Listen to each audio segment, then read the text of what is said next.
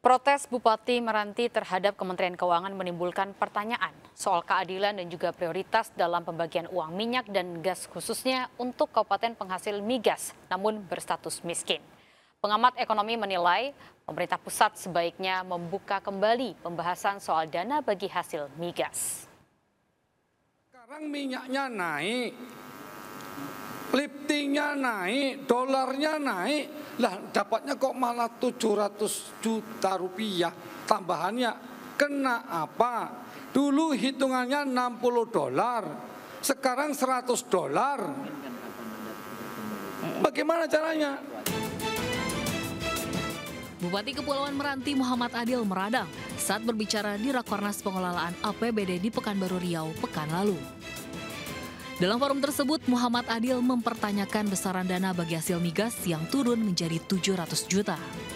Padahal menurutnya produksi minyak di Kabupaten Meranti justru naik jadi 8.000 barel per hari dan harga minyak dunia naik dari 60 dolar menjadi 100 dolar.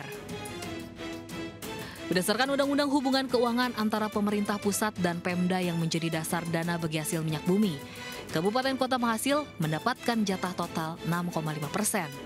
Di tahun 2023, pusat akan memberi 115 miliar rupiah untuk Kabupaten Meranti atau menurun 3,53 persen. Padahal diakui oleh Bupati Meranti, produksi minyak dan gasnya tengah meningkat menjadi 8.000 barel per hari. Di Riau paling miskin itu nomor 11 Rohil 11 persen. Menjawab kegelisahan Bupati Meranti, Dirjen Perimbangan Keuangan Luki Alfirman menyatakan siap memberikan perhitungan dana bagi hasil migas. Kebijakan baru di tahun 2023 ini, di mana bagi hasil itu juga diberikan kepada daerah yang berbatasan, bukan hanya daerah penghasil. Nanti silakan ya Pak ya, nanti tim timnya Bapak ketemu dengan tim saya. Sebentar Pak, ini saya Tak puas dengan jawaban tersebut, lagi-lagi Muhammad Adil meluapkan kekesalan. Ia mengancam angkat senjata dan memilih bergabung dengan Malaysia. Ia bahkan menyebut Kementerian Keuangan penuh dengan iblis atau setan. Saya enak mandeng Bapak di sini, aku tinggalkanlah ini ruangan. Tahu lah, sampai pada waktu itu saya ngomong, ini orang keuangan isinya nih iblis atau setan. Gitu. Atas pernyataan kontroversial Bupati Meranti, ekonom senior Indef Didik Rahbini menyebut kekecewaan soal dana bagi hasil harus jadi perhatian pemerintah pusat. Namun seharusnya tak disertai ucapan kasar seorang pejabat publik, terlebih kepala daerah yang berniat bergabung dengan negara lain. Pertama, kritik dari bupati harus didengar wajib. Dapat 700 mungkin terlalu kecil dihitung. Satu.